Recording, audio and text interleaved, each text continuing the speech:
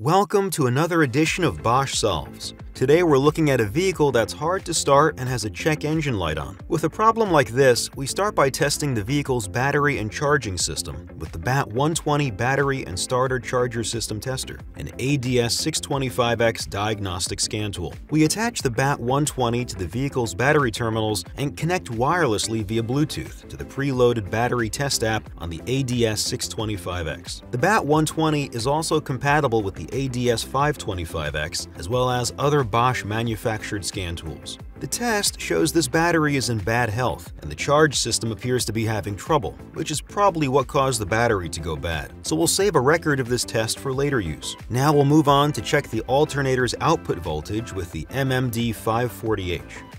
After checking for any loose or corroded connections, we see that the output voltage is 12.4 volts like the charge test showed. The MMD540H has an auto-ranging capability and is Cat 3 rated, which allows it to be used in both standard 12-volt automotive systems as well as high-voltage systems up to 1000 volts. After replacing the alternator and battery, we will perform the battery and charge system test again using the BAT120 and ADS625X to confirm we're now getting good readings from both the battery and alternator. And finally, we want to do a DTC scan using QuickScan on the ADS625X to confirm that there are no other issues on this customer's vehicle. We get the scan results in under a minute, and the battery and charging system test reports from both the pre and post scans can be attached to the DTC scan report and handed or emailed to the customer.